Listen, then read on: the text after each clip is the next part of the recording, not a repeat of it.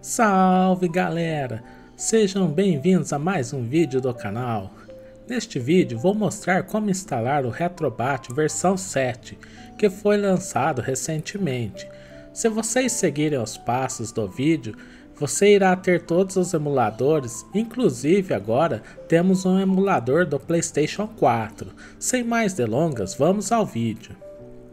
Primeiramente, vamos entrar no site do Retrobat e vamos clicar em Download Retrobat.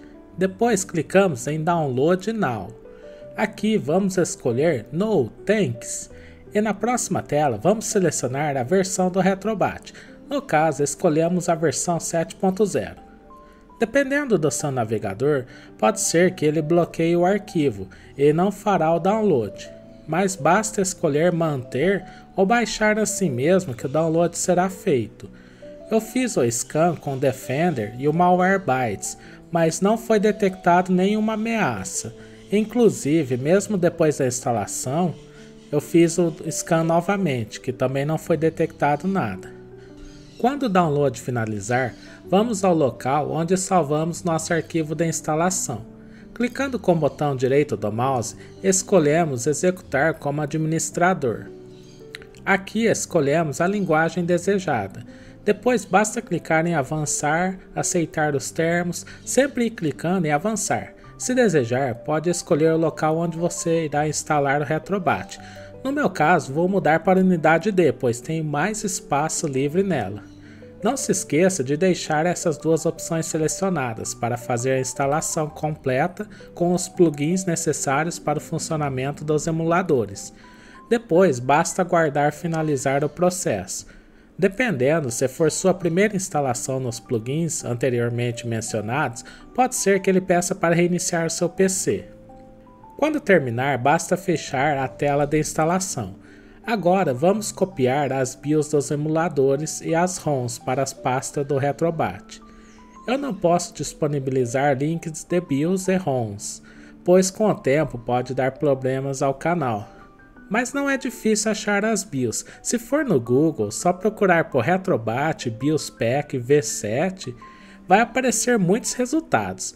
Eu estou usando esta versão aqui, pois já tem até o emulador do PlayStation 4. Basta clicar aqui e ao lado direito tem o arquivo para fazer download, que no caso eu baixei esse zip aqui. Depois vamos descompactar o arquivo. O processo demora um pouco, mas assim que acabar vamos copiar todos os arquivos extraídos para a pasta do Retrobat. Como você pode ver, dentro da pasta do Retrobat já tem as pastas BIOS, Emulators e System. Por isso, não esqueça de clicar em substituir arquivos no destino.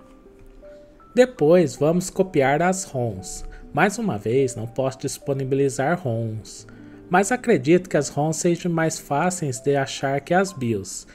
Inclusive, naquele mesmo site, se pesquisarem lá, tem packs de ROMs já prontos. Por exemplo, todos os jogos de Super Nintendo, Nintendo DS, PSP e muitos outros. Como já deixei algumas ROMs preparadas, vou apenas copiar as pastas. Mas não é difícil, basta prestar atenção nos nomes das pastas e colocar as ROMs em suas respectivas pastas. Por exemplo, ROMs do Nintendo 64 vai na pasta N64, ROMs de Super Nintendo vai na pasta SNES e assim por diante. Agora podemos abrir o Retrobat temos muitas opções para poder configurar, e por estar em português fica mais fácil para vocês explorarem e ir modificando de acordo com seu gosto. Aqui em ajuste de jogos podemos verificar a ausência de BIOS, e como podem ver nenhuma BIOS está faltando. Eu gosto de ativar essa opção de salvar e carregar automático, e se desejarem podem mudar a opção Force Full Screen Aqui é onde vamos baixar as capas dos nossos jogos. Temos quatro bancos de dados diferentes. Eu uso o Screen Scrapper, mas ele precisa de uma conta. Se quiserem criar uma conta, vou deixar o link na descrição do vídeo. Mas tem alguns bancos de dados que não precisam de conta. Se quiserem tentar as outras opções primeiro, sem problemas. Sempre que terminar de baixar as capas, ele pede para atualizar a lista de jogos para aplicar as informações. Se quiser instalar temas, basta vir aqui no gerenciador de temas e escolher o tema desejado e fazer o download. Após baixar os temas instalados, você pode conferir aqui e para alterar o tema, vamos ao menu de ajuste da interface do usuário e em definir tema, escolhemos o tema desejado. Depois basta voltar ao menu principal que ele irá aplicar o tema para você. Aqui no menu Retrobat você pode ver todos os emuladores disponíveis. Inclusive temos o Shad PS4, que é o emulador do PlayStation 4. Ele é bem parecido com o emulador do PlayStation 3 para quem já utilizou.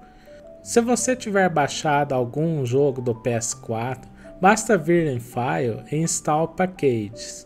Basta escolher onde você deixou salvo os arquivos do seu jogo e abrir os arquivos com a extensão PKG. Esse processo demora um pouco, mas no final o jogo irá aparecer na lista e depois basta clicar em Play. Como podem ver a seguir, estou fazendo o teste no Bloodborne, que é o exclusivo para o PlayStation 4. Ativei também o Afterburn para ver o desempenho do jogo e o consumo do hardware. Você lugar certo. Vou criar um personagem aqui bem rápido para ir direto ao jogo. Bom, Aqui é a primeira vez que estou executando, e principalmente jogando, pois nunca joguei este jogo, porque nunca tive um Playstation 4. Eita, que bicho doido é esse? Que medo assim, não vou conseguir dormir de noite. Ô louco. Se lascou, mané.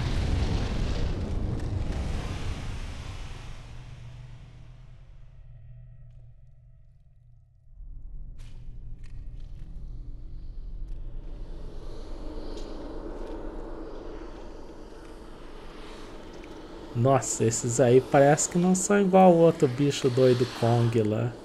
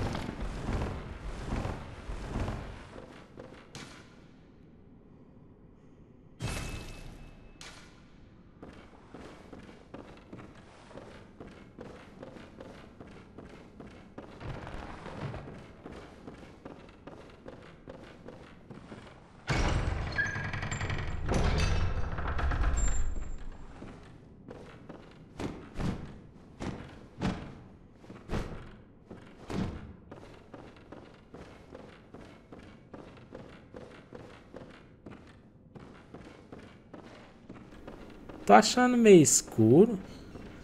Mas depois vou tentar mexer no brilho e tal. Mas dá pra jogar de boa, parece. Bom, mas esse foi mais um vídeo do canal. Espero que tenham gostado e não se esqueça de deixar seu like e se inscrever no canal. Valeu galera, até a próxima!